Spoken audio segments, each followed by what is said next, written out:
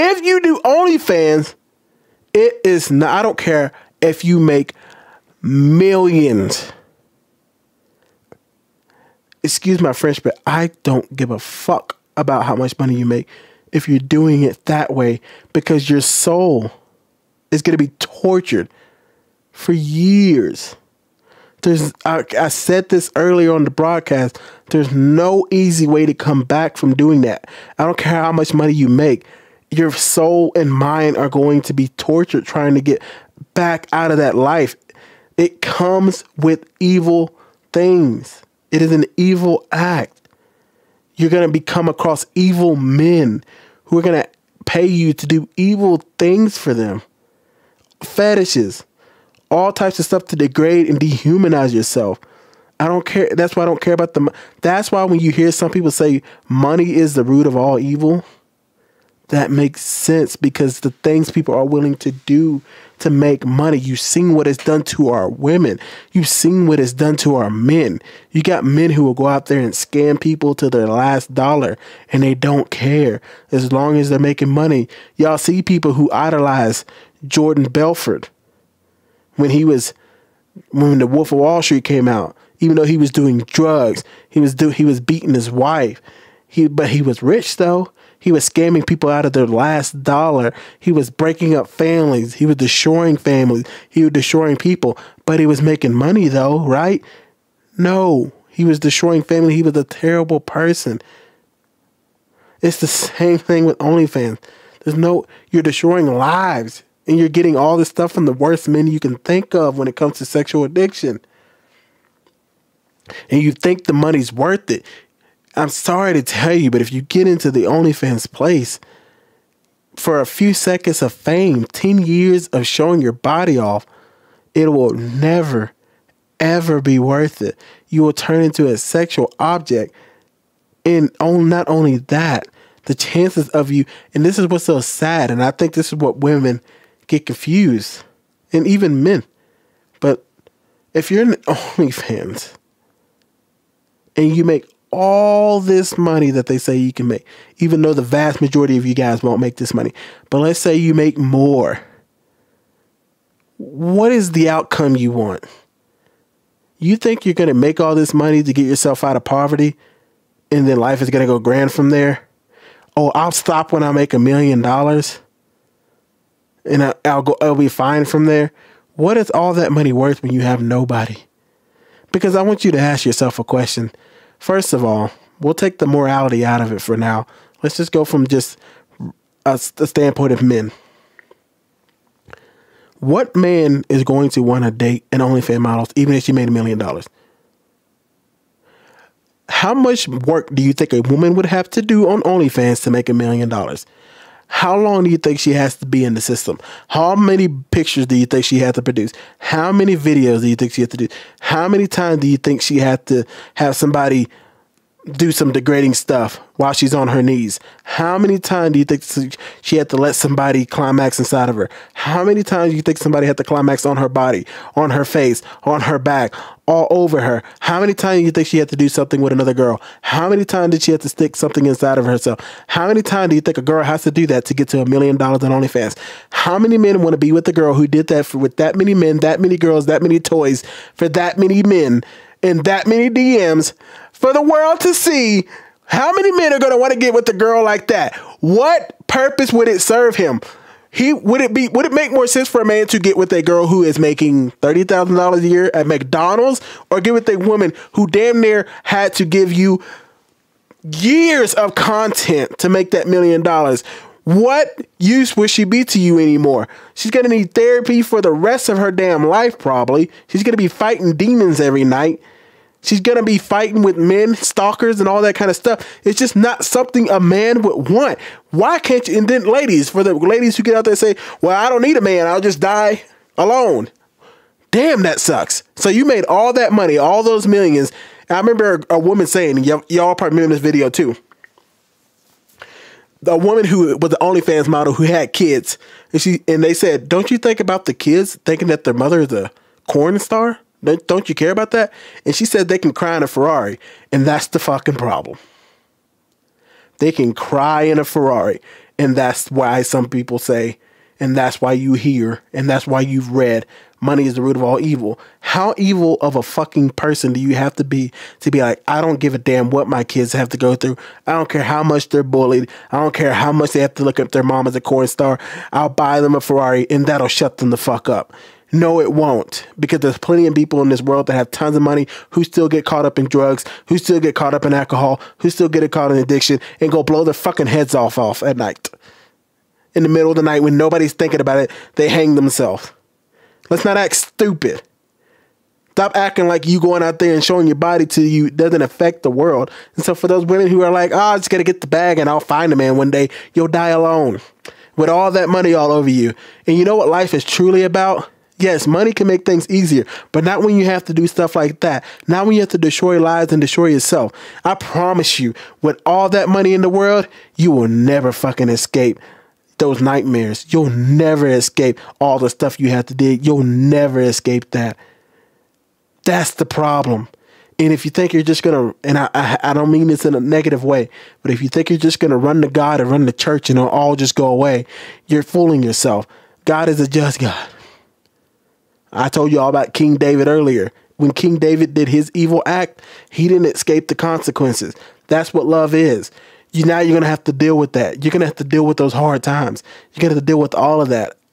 Now prayer will get you through. It will make it easier, but that doesn't mean you're gonna get a man. That doesn't mean all that money can just go up in flames. You're still gonna go to home crying. You're still gonna need counseling. You're still gonna need all that. Nobody's coming to save you, ladies. And that's what y'all got to get to y'all's head. So go do your damn OnlyFans. Do it, please. But just know it's going to come with the world of pain that you didn't have to go through. You could have just lived a life, been okay. But that money, that money that destroys so many people's lives, there's nothing wrong with getting money, but you can do it the right way, the hard way. But you try to go that quick way and just start on there and just fucking just give yourself over to all of it when you just open yourself up to all the evil stuff, because think about this. Truly think about this. When you get on OnlyFans and you do all these sexual things, you're not only just opening, yeah, you might be in your bedroom alone or with another guy you don't know or your boyfriend or whoever the hell. You're opening yourself up not just to that, but all the men who are addicted all the men who can't let the pornography go, who have let themselves open, you're going to get all of that, all the this. You can block as many men as you want to. They will keep coming. If you want to keep making money, you're going to have to accept some of them. Okay. And when you get that one guy who decides to keep showering you, he's going to want something. He's going to want something.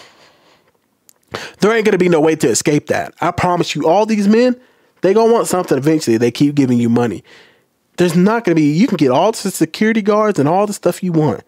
You're not going to escape those men who are going to want something. I know Amouranth may seem like she's happy and loving life. There ain't no woman on this planet, and I believe this truly, who is a corn star or is showing themselves digitally, sexually to men that are happy with their lives. Because you can't be happy with that. Why? Because you're literally selling yourself. Maybe you're making millions, but to each man that you're selling yourself to, this girl that we just watched, she's selling her body for $5 a month right now. Five. Five. Now she could be making $15,000 when all those fives come together. But to that one man, the, Billy on the other side, Bob on the other side, Mike, John, Russell, all those guys see you for five dollars a month, maybe fifteen dollars a month for you to do a little bit more, maybe thirty dollars a month to see you do some girl on girl, maybe forty five dollars a month to see you with a man. I don't give a fuck. You hear me? Forty five. So you think? And yeah, it may seem a lot to yeah. When we think about it, oh man, that's forty five dollars just to see it. See, you can go see on the hub.com. I get it, but baby girl, you just had sex with a man, your boyfriend, some stranger, some girl for $45. Yeah, $45 coming from a lot of people. I get it. But to that one man, you're willing to sell everything, something that was meant for one man. You're willing to give everything away. You're willing to do all that. You're willing to do all these disgusting acts for $45 No different from the hooker on the street. Yes, you're getting it all at one time because it's digital now. But to that one man, you're a hooker on the street who's willing to give him anything he wants for $45 a month. And for the girls who do the girlfriend experience, $500 a month for her to talk to you and for her to send you pics. Baby girl, that's $500 a month. 500 that's poverty. That means a man who is in poverty, if all he did was spend that much money on you, $500 a month? Got us $12,000 a year before taxes. so a man who's on the brink of living in a box paying you $500 a month, that's a lot, but it's not. Is it worth five hundred dollars a month? Is your body worth fifteen thousand dollars a month? Is it worth a million? Is because I promise, and guys, I can't explain it. I cannot explain it. And this is what's so hard to get through to these people. But I dealt with those. I hate saying demons, I really do, but it's something that people understand. But what I'm really saying is dealing with those thoughts. I was a man who dealt with those demons. Ain't no money in the world can stop those demons. So, a girl, you can go make all that money. But just like they say, the chickens will come home to roost. And when that day comes, the only person that will be able to just hold you the only thing that's going to be able to hold you together is God. That doesn't mean you're not you're not going to have to deal with those consequences. God is going to be the only one who can let you out. You'll be able to make it out the other side, but it will be torture. And you, I promise you, no matter what you think, this is hard to say because it sounds so harsh. I know the same shit's happening for me. All those years of pornography I didn't let go, I'm not I'm not getting let off. I already know it's coming with dark days. I dealt with a lot of those dark days last year when I want to take my life. I was the most depressed I've ever been, and those dark days aren't over. I was in pornography for over a decade.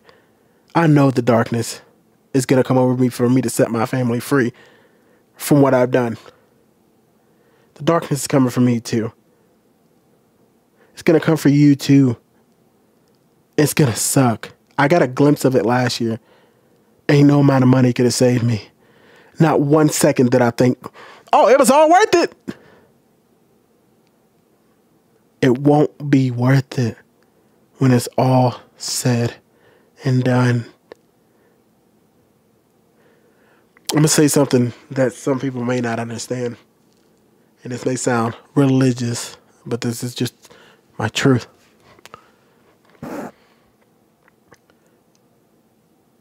God does love you, and if you run to Him, He will be there. But that love, you need to go through that pain. When you come out of that OnlyFans world, and I pray you do, but when you come out of that world, the most loving thing that can happen is for you to realize it was never worth it. And why do you go through such that pain? I'll tell you something. When I was going through my, I keep saying last year, but it was really more like a year and a half ago. When I went through my phase that I was going through, and I was freaking losing my mind, there's only one thing that came to my head. When I thought I was going to die, I thought I wanted to take my life, I hated my life. I said one thing over and over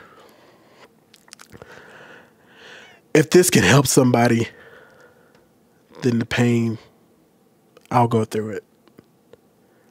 And that's why you'll have to go through it. When you leave this OnlyFans world and your world comes crashing down and you have to deal with all the disgusting things you've done with all the Ferraris surrounding you in your big ass house and that big ass empty house. When that thing comes for you, that pain that you feel, That's going to be the pain that you need to have to help other people who are going to go down the same dumb path you went down. I can help so many people from not going down the porn route, not going down the marijuana route, not going down drinking, not going down the route of overeating. Because I know that pain. I know what it's, first of all, I can feel the pain of being fat. I can feel the pain of my mind still struggles today because I haven't used drugs in so long. I still go through withdrawals here and there. And I can tell you the pain that comes in being in a marriage when you've been dealing with addiction. I know all those pains. And I've got four, five, six more years of this probably. But I can use all this pain, all of this to help somebody else. But that doesn't mean I get freed from it. I will be used as a lesson. My, and I hope to be able to help somebody. And so if you want to do OnlyFans, you want to make $15,000 in your first month, do it. Do it. And I hope you make it back. But guess what? You will be used as a lesson, good or bad, however it ends. You can fool yourself all day long saying, I'm happy. I don't care. And I'll let you believe whatever you want to believe. I'm not going to sit here and say, oh, you're not happy. Maybe you are foolishly. Happiness is just a feeling. You can make it up, but it'll come. And that day, when it comes, those years, I hope you help as many people as you can. I just hope it doesn't end with you doing something bad. And I'm not talking about this young lady. I'm talking about people who want to do OnlyFans. There's no easy way out. And when I say OnlyFans, guys, I mean anybody who wants to be in the industry, period, the sex working industry, period. OnlyFans is just the easiest way to talk about it because that's the new prostitution. Because we know what prostitution was like. Real people who are really on the streets. We know, we see those women out there. We know they're destroyed. But the women who get online, you can't see it. You can't see it because it's all digital.